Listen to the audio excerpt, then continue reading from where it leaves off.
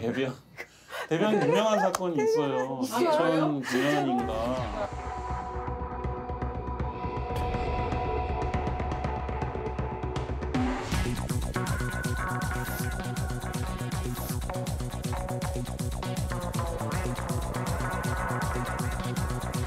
혈흔이 낭자한 이게 모녀가 이제 집안하고 마당에서 그 사건을 제가 갔었어요. 아, 그러세요? 네. 네.